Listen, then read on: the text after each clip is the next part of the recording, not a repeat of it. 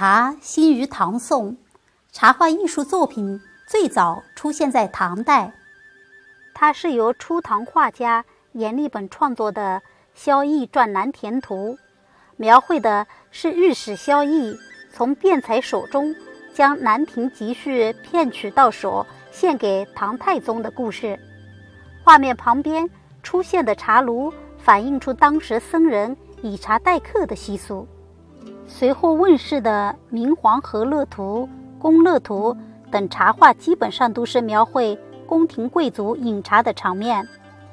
总的来说，唐代是茶画的开拓时期，作品侧重于表现人物，吞茶饮茶细节的描绘只是一种陪衬，所以作品对茶的精神内涵的揭示尚不够深刻。五代至宋。饮茶之风在各阶层的日益盛行，和当时画家群体的活跃，使茶画的题材内容十分广泛。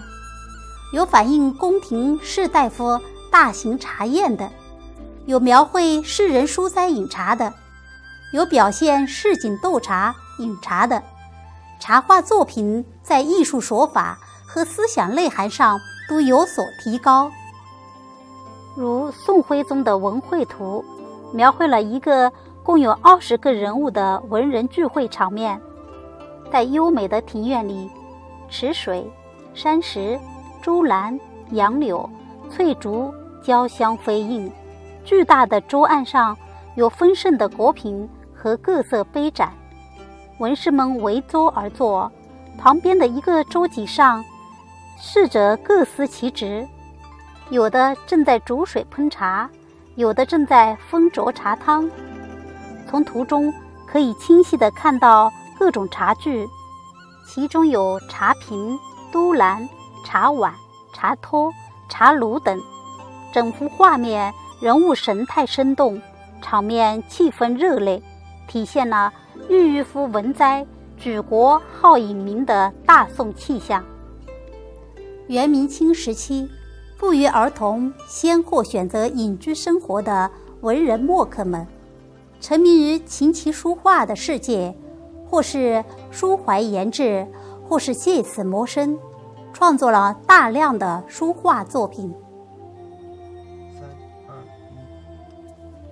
这一阶段的茶画作品，不仅在数量上远胜于前代，在题材、风格、画法、意境等方面。也是多姿多彩，各领风骚，既有向更深邃的内心体验发展，注重与自然的契合，流露出淡泊伤感的山水画，也有大量反映社会各阶层饮茶习俗的风情画。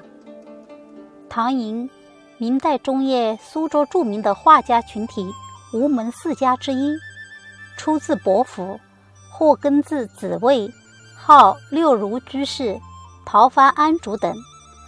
由于唐寅的才情卓著，民间有很多关于他的传说故事，其中以唐伯虎点秋香流传最广，又加之影视片的多次改编与播出，唐伯虎以玩世不恭、风流倜傥的才子形象深入人心，家父愈小。而真正历史上的唐伯虎，尽管才华出众，但他的一生却历尽坎坷。出身商人之家的唐伯虎，自幼聪明伶俐，极有天赋。但在二十五六岁时，家庭遭遇变故，父母、妻儿及唯一的妹妹离开了人世，让他一度陷入消沉。后经好友。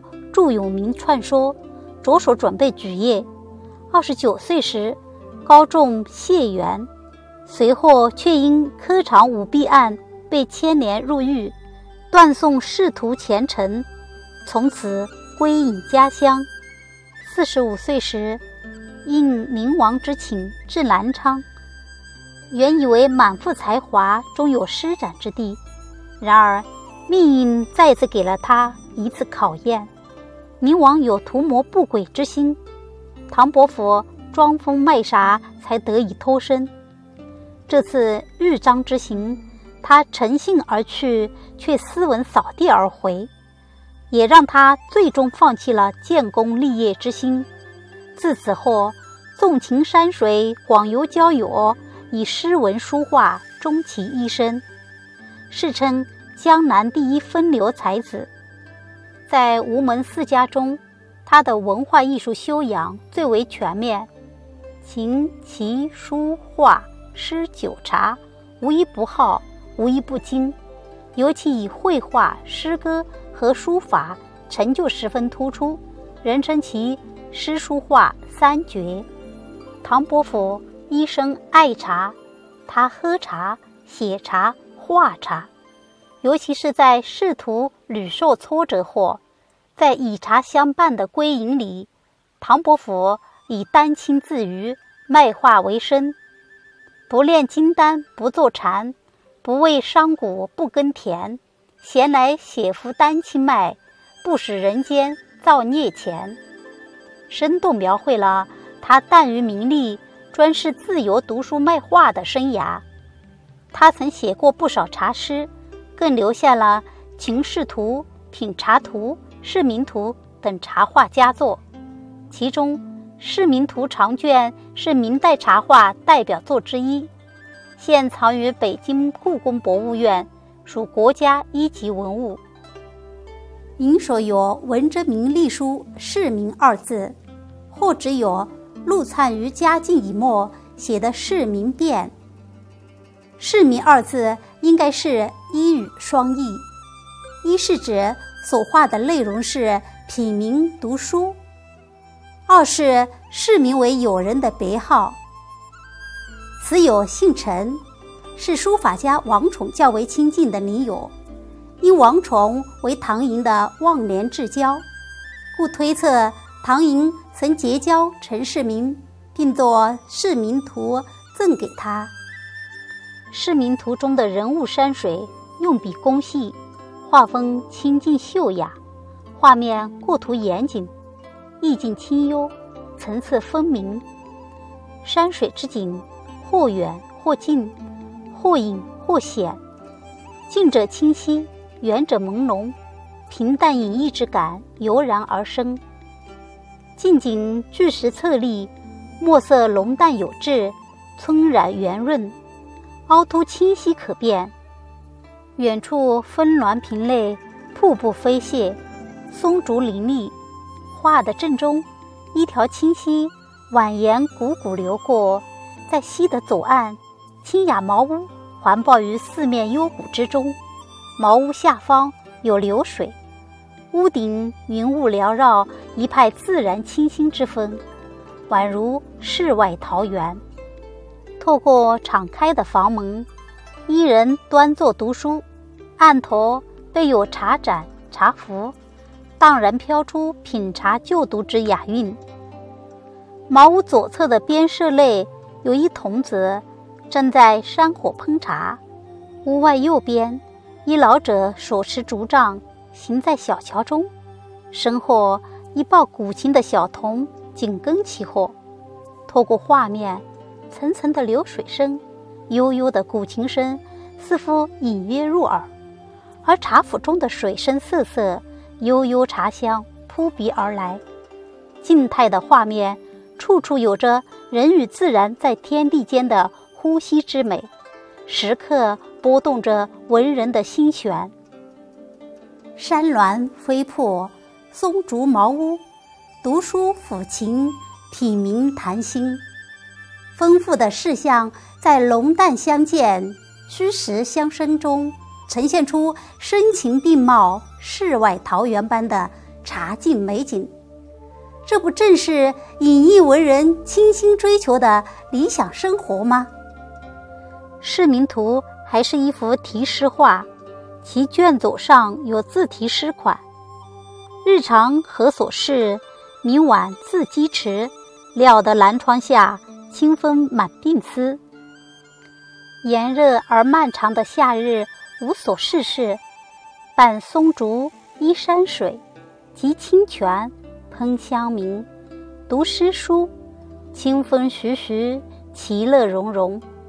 作者向往闲适归隐的生活，遁迹山林的志趣尽展笔下。